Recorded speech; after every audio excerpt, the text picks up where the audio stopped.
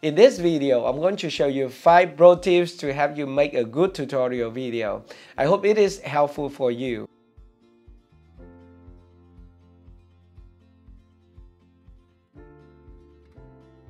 Hi guys, it's Jacky here with Filmora to empower your inner video creator.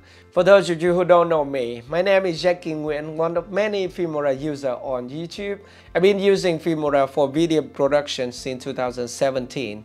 I use Filmora to create many different types of video, including YouTube video, tutorial video, and also video for my family too.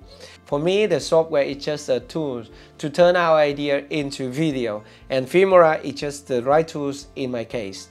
After a long time using the software, I really love it and want to share my experience with new people. That's the main reason why I publish so many Filmora tutorials on my YouTube channel, as well as joining Wondershare FCC program. To be honest, Filmora wasn't perfect from the start, however, it is updated very often up to now, Filmora 12 is really one of the best video editing software on the internet, in my opinion. Alright, and let's get started now.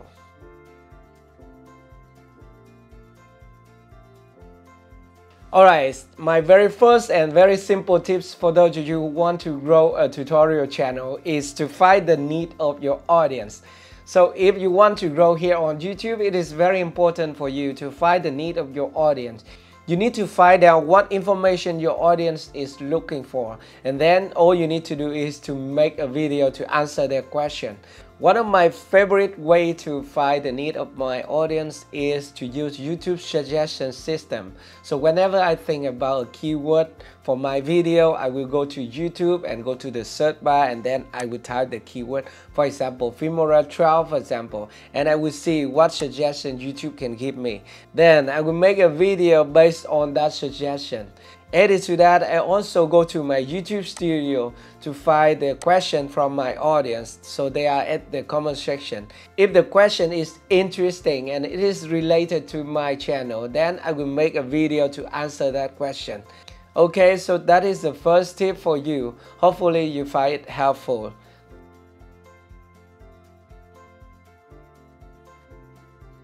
Okay, so that is the first tip for those of you who want to make a good tutorial video. And the second tips for you is about writing script for your video. When making software tutorial, it is very important to write the script in simple language. So you must ensure that your audience understand your video. Try to avoid using technical phrases if you don't have to because your audience will be confused. You are making software tutorial for beginner, not the experts. So talking about writing script, firstly, you don't have to write down everything you want to say in your video because it will make you speak unnaturally. Okay, so it is better to write down only the key point in your video and then when you're filming, you can explain it in your own language it will help you avoid talking like a robot okay? So this is my simple script for making video okay? Tip number one tip number two tip number three stuff like that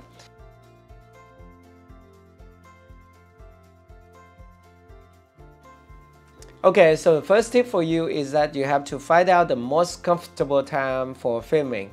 My favorite filming time is around 9 a.m. in the morning. So when my kids are at school and my wife is at the office, nobody around my studio. It is a quiet place so I can start filming.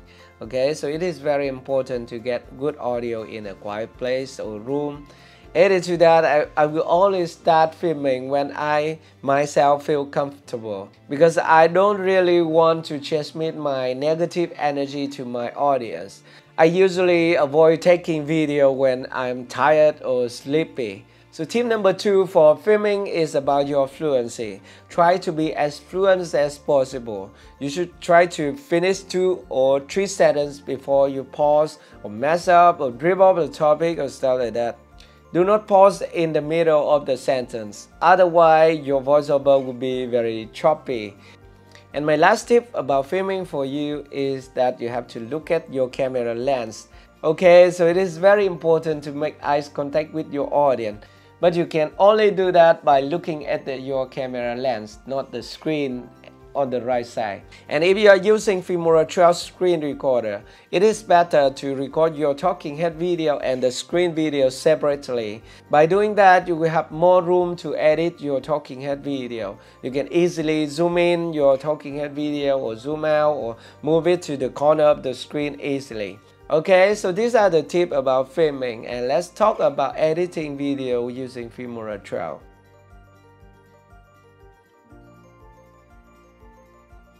Okay, and my first tip for those of you who want to create a good tutorial video is to use the right transition at the right place.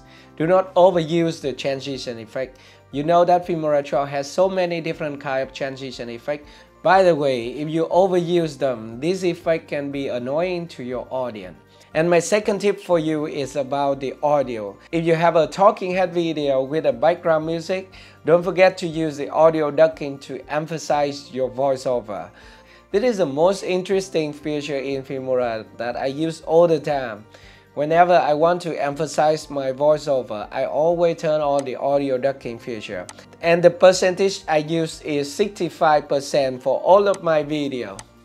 And the next tip to help you create a good tutorial video faster in Filmora is about the favorite folder. In Filmora, if you select any important tab here, you will see the favorite folder. This is a favorite folder where you can save your custom template and it is the same in the transition and the effect tab. So you save all the frequently used effect in this favorite folder. It is a lot faster to find them whenever you want to use them. Okay and we mentioned that in Filmora we have this start button. You want to add it to favorite folder. All you need to do is to click here to add it or remove it from the favorite folder. If I like the effect I can just click here to add it to my favorite folder. And these are the effects that I frequently use in my tutorial. I have the image mask, the border and beautify and the shape mask here. So whenever I want to use them, all I need to do is to go to effect and then I can select favorite. Then I can easily find this, the effect here. I don't have to search for them all the time. Okay, so these are some of my tips about editing video with Filmora 12. And my final tip to help you create a good tutorial video is about exporting your project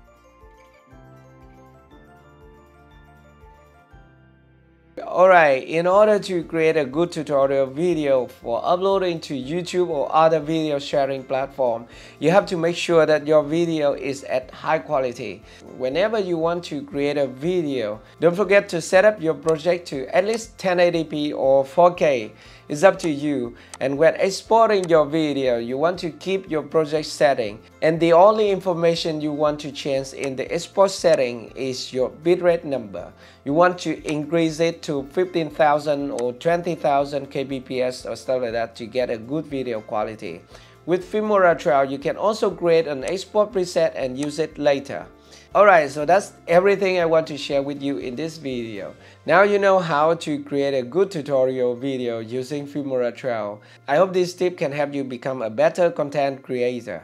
And make sure you like the video and subscribe to Wondershare Filmora channel for more video editing tips. Keep creating!